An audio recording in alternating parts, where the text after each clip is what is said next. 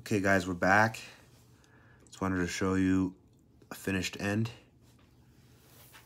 And now this is where we finished off in the last video.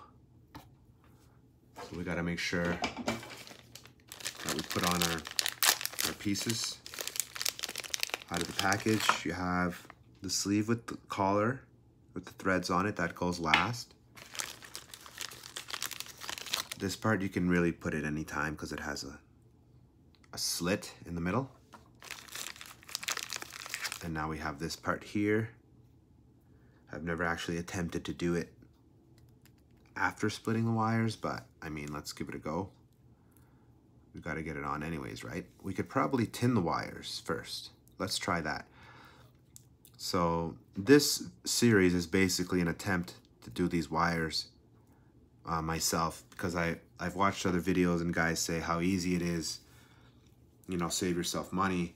And uh, I would say it's relatively easy. I wouldn't say it's a complete novice, but if you have the right tools, which I'm going to leave in the description, it's definitely going to help. Now, why do I have this? This is an old headphone amp that I blew. You know, I kept it, figuring one day I might fix it, whatever. I have that in a small vise, okay? Uh, this is a trick I've seen from other videos where you can use it to plug in and hold your parts in place. I'm going to do that for this video. It seems to be really stable.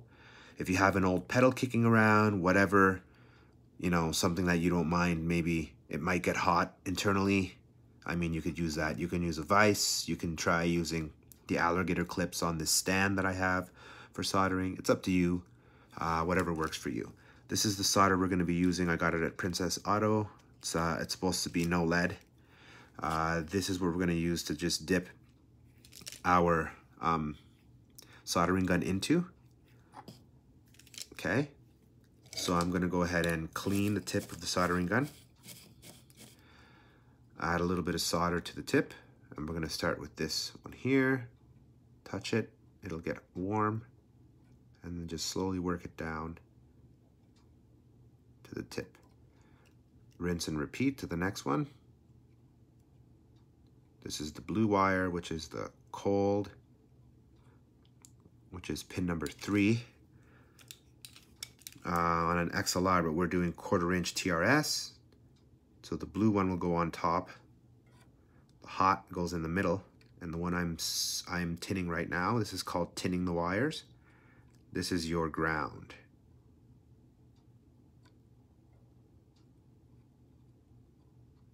Okay.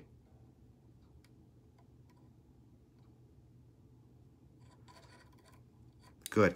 The ends aren't perfect perfect, but that's okay because we're going to trim them. So now we've tinned them, we move the alligator clip out of the way. Now we're going to try and feed these through. They're still a little warm, but not too warm. And yeah, it'll fit. Okay, good. So that is helpful. Oh, the insulation is a little bit, there we go, a little bit warm. So yeah, don't do what I just did.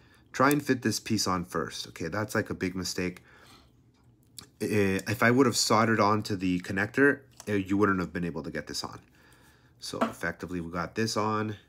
I'll go ahead and connect this piece with the, the three teeth facing away from the wires that you're gonna solder.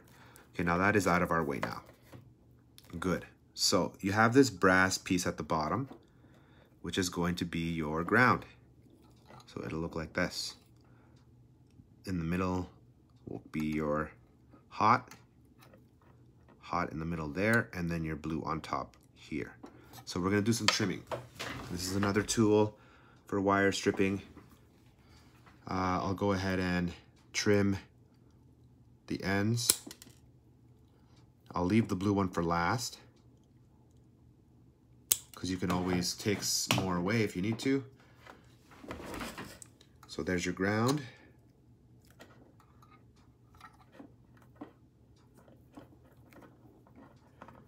Ground,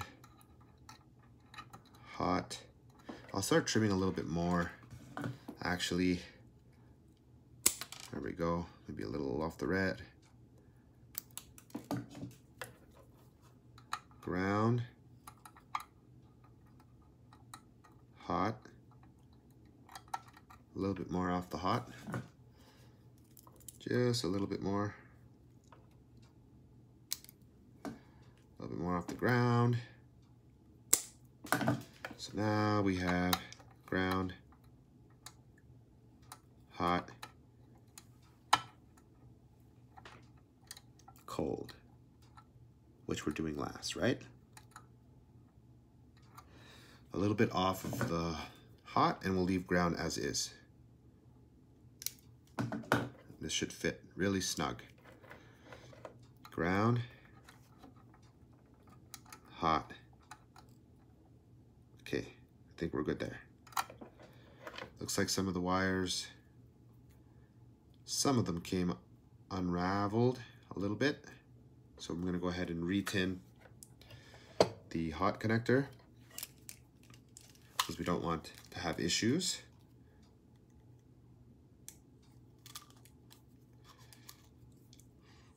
Down the road, right?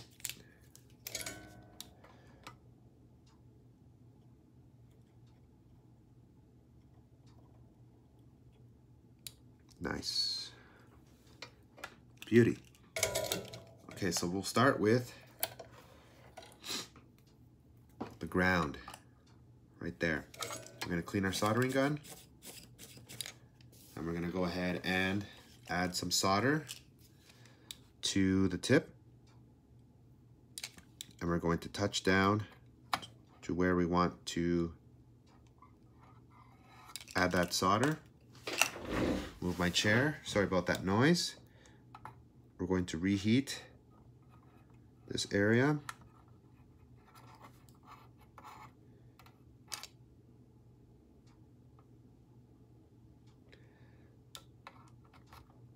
I should probably be holding it with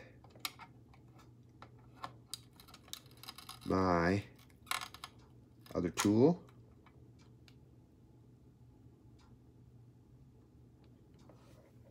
Okay, and it's cooled down and it's it's pretty good on there. It's tight, strong. Next we have our hot pin, which is in the center. Trim a little more so that the wires aren't bent. I don't like how they're a little bit bent, but trim a little bit more. Leave the blue one for last. That uh, it's pretty good right there. This one I'm gonna hold with my tool. First we're gonna clean the solder. Get a little on the tip.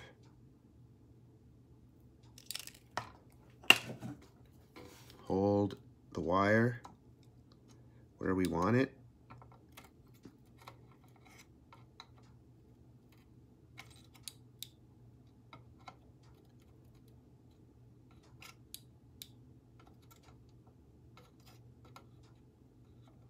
Beauty.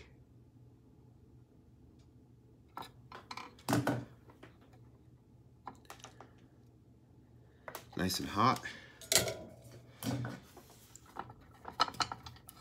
Turn it over, make sure that this isn't touching, because it should not be touching.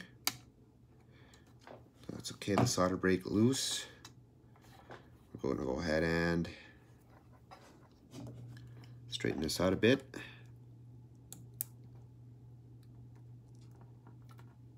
Okay. Take some of the solder off. Like that.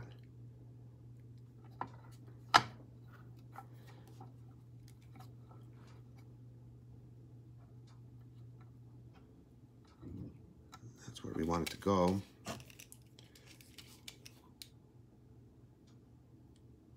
Add a little bit of solder to the tip. hold our wire in place.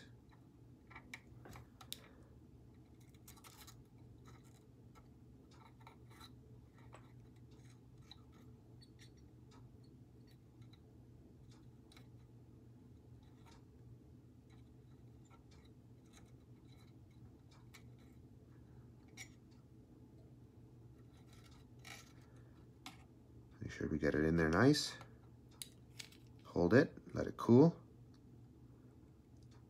It's gonna harden. These wires are not touching. And that is a strong connection now. Good. Finally, we left the blue one last. Looks like we're gonna trim quite a bit off. We'll start with this much. Turn it a little bit, a little bit downward. Oh, that, that is really nice right there. We want to be able to hold it with our, our tool. Get a little bit of solder on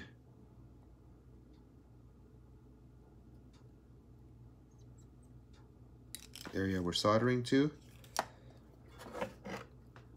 And we're gonna hold the wire in place.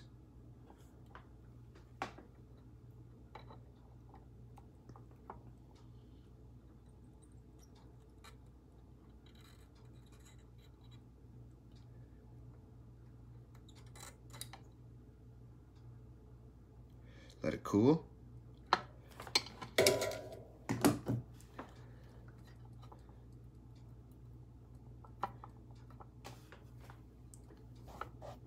I'd be confident with just a little bit more solder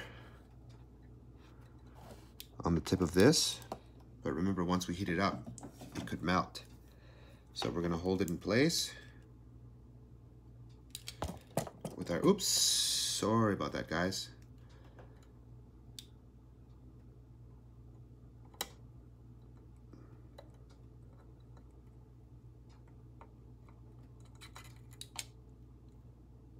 That's much better.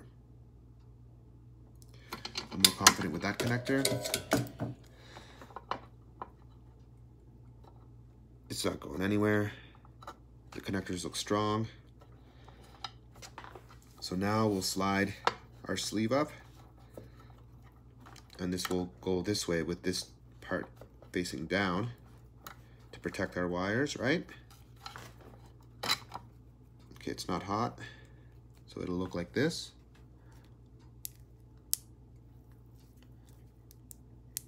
Okay. Now we introduce this collared piece. Try to get it in place as much as possible. And you want to slide this through there. And it'll come through like that. Now you slide up the threaded piece to be honest, this part is a pain in the ass, so I might not do it in the video, but it's just like threading a, a bolt. It's lefty-loosey, righty-tighty. But once you get to the end, if it's too tight, you can leave it for a day and come back and retighten it because the wire is going to be into position better. Sometimes I use my shirt. I mean, it might be off camera, but to help me grip it better. Be able to twist it on. And then once you got it on there, you should be good to go. So that's not too bad. Tomorrow I can tighten it up again.